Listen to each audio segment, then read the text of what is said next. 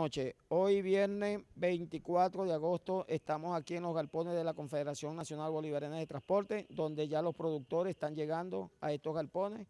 donde estamos preparando lo que es la parte de la carne de res eh, para ser llevada a los cielos abiertos. Tenemos una jornada en el Palacio de Miraflores y bueno, lastimosamente y, lamentablemente la Guardia eh, en unas alcabalas pues han hecho estragos y extorsionando pues a los productores quiero decirle al país que nosotros no somos bachaqueros, estamos llevando solución al pueblo. Hoy me dirijo eh, precisamente al despacho presidencial, al teniente coronel de lo que es atención social, para que él tome medidas en, o sea, tome una medida eh, en cuanto de que nosotros estamos llevando los alimentos al pueblo de Venezuela y hay funcionarios que se prestan para la sinvergüenzura, para tratar de dañar el trabajo que venimos nosotros haciendo socialmente. Ya ustedes pueden ver, aquí estamos los productores, están preparando unas reses